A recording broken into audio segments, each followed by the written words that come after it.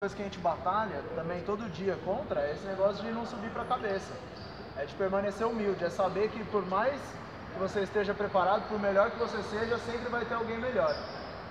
Hoje eu posso vir aqui e achar que, ah, não, esse cara não bate bola tão bem. Mas se hoje eu for lá no treino do Golden State, os caras vão me ver e vão falar assim, nossa, eu vou ser o motivo da piada, eu vou ser o motivo da chacota. Então é importantíssimo que vocês respeitem o momento, a situação de cada um. Independente de qualquer coisa, ah, o arremesso dele é assim, o passe dele é assim, tá batendo bola. Nunca vocês vão ser bons o suficiente para tirar sarro de alguém, para deixar de respeitar alguém. Então, admirem aquele cara que está treinando que ainda não sabe nada.